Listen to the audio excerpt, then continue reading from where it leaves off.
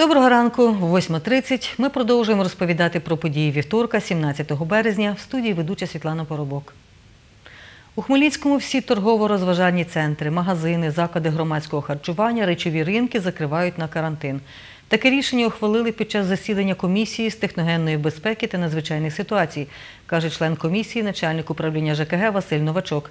За його словами, працюватимуть лише продуктові ринки і магазини, супермаркети та аптеки. Також особисті прийоми громадян посадовцями Хмельницької міської ради до 3 квітня відбуватимуться в телефонному режимі або через електронне листування. Про це розповідає головний спеціаліст управління організаційної інформаційної роботи та контролю Хмельницької міської ради Наталія Воронка. За її словами, звернення можна залишати щоденно з 9 ранку до 18 години, в п'ятницю до 17 за номерами телефонів у Хмельницькому 76 25 33 або 70 37 82. В електронному режимі працює ЦНАП, закриті всі абонентські служби комунальних підприємств. У Хмельницькому починають дезінфікувати зупинки громадського транспорту, центральні вулиці, багатоквартирні будинки. Зі слів Наталії Воронки, перша партія експрес-тестів закуплена за кошт міста для інфекційної лікарні. Тести, придбані за кошт держави, досі не- надійшли.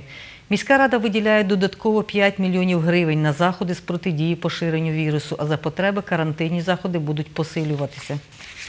Нагадуємо правила профілактики, щоб убезпечити себе від зараження вірусними хворобами. Часто мийте руки з милом під проточною водою, не менше 20 секунд.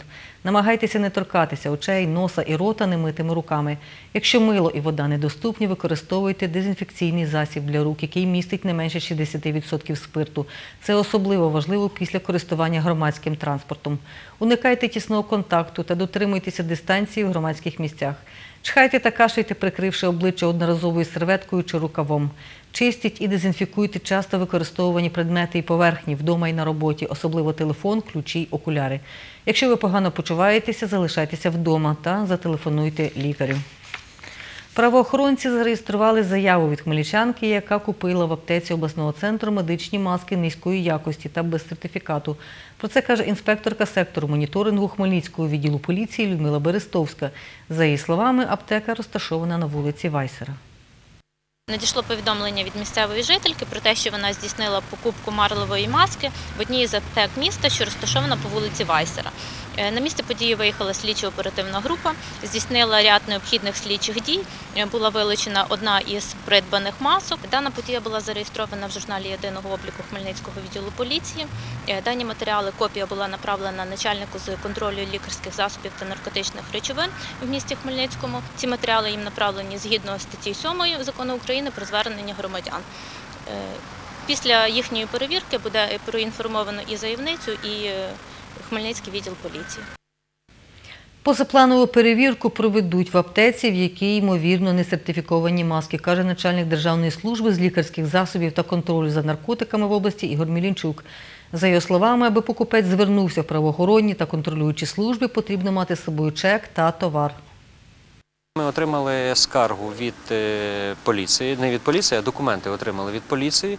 Ми його зареєстрували, ці всі документи, і відправили на погодження позапланової перевірки на е, Держлікслужбу України. Я думаю, що в ближайший час вони її розглянуть і дадуть нам, е, ну, мають надати нам е, дозвіл на позапланову перевірку. Заклади громадського харчування, перукарні, організації та установи перевіряють працівники Хмельницької муніципальної дружини. Її директор Роман Симбалюк розповідає, дружинники навідуються до керівників та роз'яснюють, яких заходів слід вживати під час карантину, аби не допустити поширення вірусу. Та нагадують про можливу відповідальність за невиконання постанови Кабміну від 11 березня цього року. здійснювати профілактичні заходи, до яких відноситься там і це і вологе прибирання постійне, додаючи туди дезрощини і антисептики. Тобто, по-друге, це звернути увагу на свій персонал. Тобто, якщо люди є, працюють е, з симптомами ГРВІ, тобто залишати їх вдома. Е, Також мають забезпечити працівників своїми, своїх медичними масками. За словами Романа Цимбалюка, поки що за невжиття санітарних та гігієнічних заходів керівників закладів та установ не каратимуть. Та якщо уряд України вирішить застосувати штрафні санкції до порушників, муніципальна дружина виконуватиме не тільки роз'яснювальну роботу. Вони змушені це робити, тому що за це є відповідальність, є кримінальна відповідальність згідно 325 статті Кодексу е, Кримінального України і є 42 стаття Кодексу України про адмінпорушення. На даний момент інформуємо. Є, немає рішення центральної е, влади нашої стосовно так- таких закладів, тобто чи закриваються вони на карантин, чи не закриваються. Ну, відповідно, потім ми будемо відштовхуватись від цього рішення. Наш випуск завершено. За кілька секунд ефір Суспільного мовника Його Поділля» продовжить твій ранок. Ми з вами зустрінемося о 13.30. До побачення.